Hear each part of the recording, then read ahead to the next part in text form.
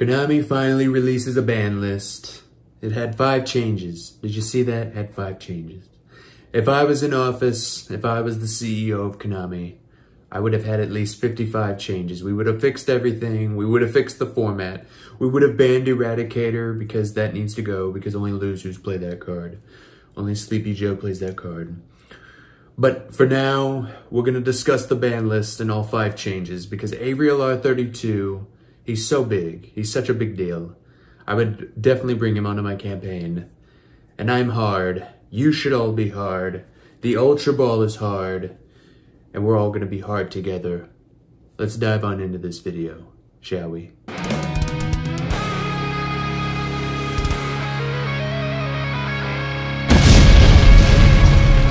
Hello, ladies and gentlemen, is your host with the most, Averylr32 here, and destroy the ever-living boo-boo stain off of that like and subscribe button as we climb even higher.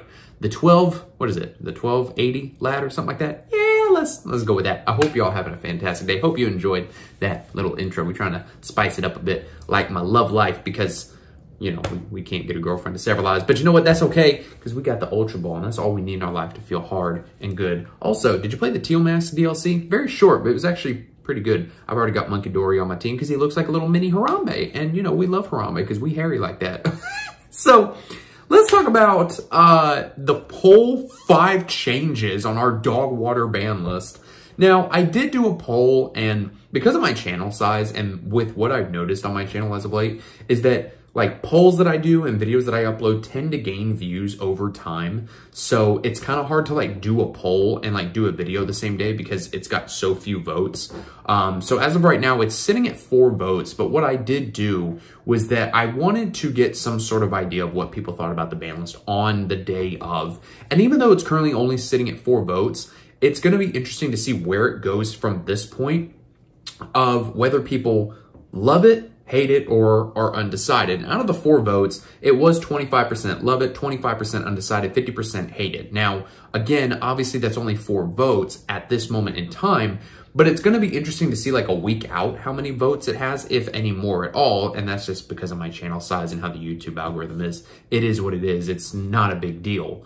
Um, but it'll be interesting to see how this develops over the next week since the, the balance doesn't go into effect for 10 days to see where it is that the community falls into category wise, how they feel about this balance. Because I feel like overall, even though it was such a small vote list, that people are very divided with this ban list because it was so small and people really were unhappy with where the game was. As diverse as the format will continue to be, even with Unchained being basically the new tier one deck that has stepped into the room, people still aren't going to be happy with the things that they're going to have to deal with in this format. So let's just go ahead and go over one by one here. First up is the one ban card is Cash Kashtira Rise Heart. Now I see I saw some people talking online about how this doesn't really hit Cash Kashtira at all. But you have to keep in mind that in the Cash Kashtira's end board, you know, yeah, they can make Shangri-Ira and lock out a zone with Rise Heart's effect banishing the top three of the opponent's deck right now. But now they can't just go like, okay, banish the top three, make a Rise Heart, sit on that for the fourth summon with like back row and hand traps. Because now they don't have access to that. And a Rise Heart was such a broken card because every time something got banished, which it was a macro on its own, it would just attach a card. And you could use Pot of Prosperity for basically no loss and advantage and attach things like the, uh, what do you call it? The Earth Machine Link Monster, prevent it from being destroyed by card effects you could attach any sort of other things to it to get some kind of advantage. Uh, and on top of that, like I said, it was a macro, and it could also target a card on the field and banish it just by detaching three materials. It was such an amazing, diverse card, and on top of that, even if you weren't playing Kashtira, if you were if you were playing some sort of Kashtira engine, then you could just play one copy of a Rise Heart, and as long as the opponent activates a Shangri-Ira effect, then you could drop out like a Fenrir or whatever, and then drop out your own Arise Heart. And it did reward skillful players in that regard. I mean, I remember when I was playing Kashtira when they were at full power, not this now last format, but the format prior, and uh, my opponent actually activated Shangri-Ira's effect, and I went, okay, cool, summon out my own Kashtira and then make a Rise Heart. He goes, you didn't use Shangri-Ira's effect. I said, no, it says if a Shangri-Ira activates its effect. So it did reward skillful play and, I don't know, I guess reading of the fucking cards at that point in time. But being 3000 attack and defense was just so killer. Like you could flip it face down, but you still had to have something with over 3000 to run it over. It wasn't just a matter of, oh, it's got zero defense. Let me book it, run it over, and then continue my lines.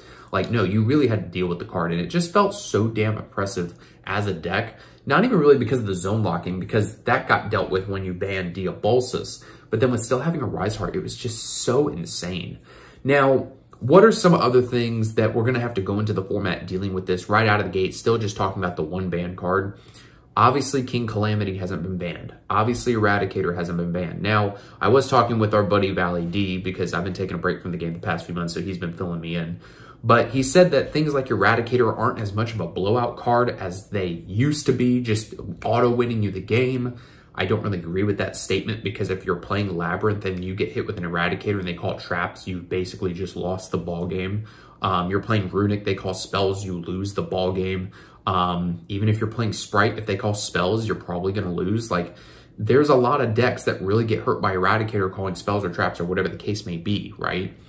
And so it's a card that really should have at least been hit to one because of the factor of Trap Trick, being able to play multiple copies, banish it out of the deck, set it to the field, or if you're Labyrinth, being able to set that Eradicator and just win if you hit that auto win button because we don't have Red Reboot.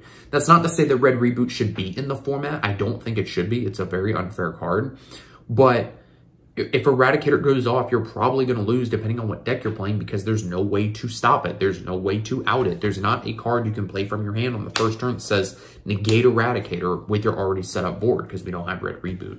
So that is something to keep in mind. King Calamity, of course, is also not banned. I know a lot of people are going to say, Avery, that's a YouTube combo. I understand that. But even when Super Heavy was at full power with three of the Scarecrow Link monster, we still saw some builds playing Cyberstein and playing the FTK version of the deck. Even though it seemed to be deemed by the majority of the community that the FTK build was not the best build, people were still playing that build, even if it was just a YouTube combo. What did Konami do? They banned Cyberstein. They banned Scarecrow Link. And now Super Heavy, I would argue, is a tier 2 deck. If you saw my tier list video earlier today, then you know what I'm talking about. And so this list just could have done so much more. Um, to to two, like nothing went to two, and then to three, we saw Herald of Orange Light and Salamangreat Gazelle, which is just whatever, and then to one, we saw Chaos Space and Magnamhut. Now, does the hits that we saw to one and three really change a lot? And honestly, no, they don't, because Salad inherently, I feel, is like a rogue deck, maybe tier two, depending on the event. And Dragon Link can still function in a multitude of different ways. You know, if you look back on my channel, you'll see that I covered a Necroface 60 card pile deck a while back which played like Psyframe Gear Gamma, it played like three Chaos Space, it played three, I think it played three Magnamhut. It was like a 60 card pile of good stuff. It played the Ishizu Millers along with Keldo and Mudora. Like it was just like a giant pile of cards with a Thunder Dragon engine and the whole nine. And you're still going to be able to get away with doing stuff like that. You're still going to be able to play Dragon Link. It's not like Druiswurm and Magnamhut are the only fucking Bystials in the game. You've got Saronir, you've got Baldrake, like you have these other things available to you, even to a lesser degree Bystial Lubellion, just to be able to have a body that you can bring out onto the field from hand or grave. The Bystial stuff is still really good. Magnum Magnamhut being hit to one is very good because now you can't just grab any dragon multiple times on both players' turns because of, you know, multiple copies. So seeing it be hit to one is a very, very fantastic thing. Um, and then again, talking about the things that went to three, Orange Light and uh, Gazelle is is just sort of whatever. Uh, you know, Orange Light I think was just a knee jerk reaction to Ishizu tier. Uh, you know, having that back at three now is not a big deal. You know, Naturia has already been hit and the Ishizu Millers have already been hit. We're not going to have to worry about seeing Naturia in the format just because we have three Orange Light. And Drytron's suddenly not going to be a tier one deck again just because of three Orange Light. They're back at full power minus Eva.